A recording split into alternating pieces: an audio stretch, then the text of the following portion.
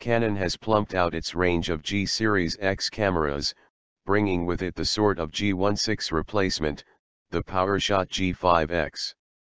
First up, the G5X comes with a built-in electronic viewfinder, delivering a pretty decent view of the scene at hand.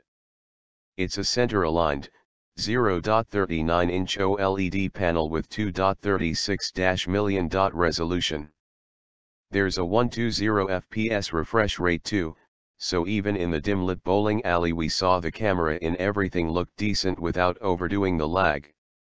Second, and unlike some earlier G-series cameras, the G5X reintroduces the vari-angle screen, so the 3-inch display can flip out sidewards and then rotate through 180 degrees.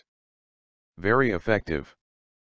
Third, and perhaps most important, is that there's a 1-inch 20.2 megapixel sensor at the core of the G5X.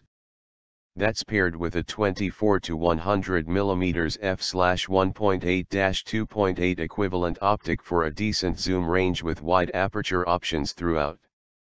Such a wide aperture does mean the camera is a bit of a chunk, though.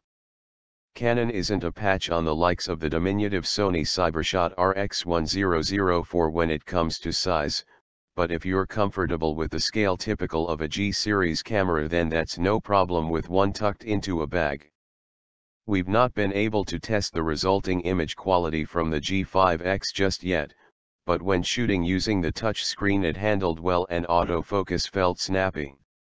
Controlling the camera can be handled more traditionally than a virtual screen-based Press 2, with a front thumb dial to take over important controls, although its vertical alignment perhaps isn't the most ergonomic placement ever, and front lens control ring that clicks upon rotation.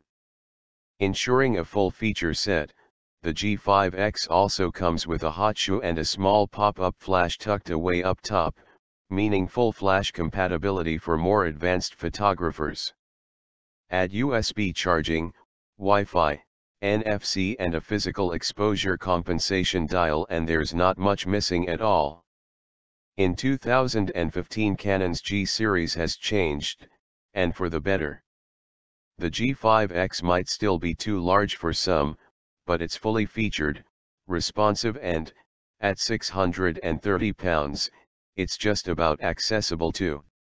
For more updates subscribe our channel.